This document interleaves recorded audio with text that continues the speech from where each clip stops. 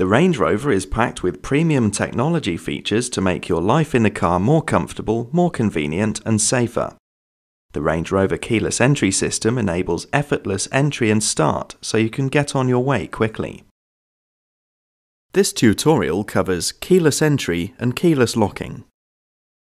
Keyless entry allows unlocking of the vehicle without the need to press a button on the smart key. The smart key only needs to be within 1 meter or 3 feet of the door handle or tailgate external release switch. To enter the vehicle, all you need to do is pull the door handle. The alarm will then be disarmed and the doors unlocked according to the current unlock or entry setting. The hazard warning lamps will flash twice to confirm the vehicle has been successfully unlocked. Keyless locking allows locking of the vehicle without the need to press a button on the smart key. To lock the vehicle, simply touch the keyless locking sensor once.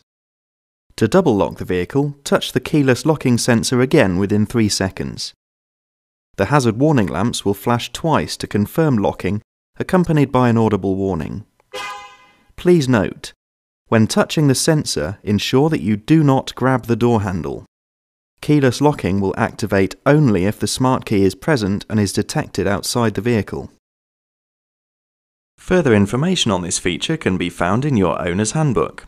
If you require any other help or assistance, please contact your dealer who will be happy to assist.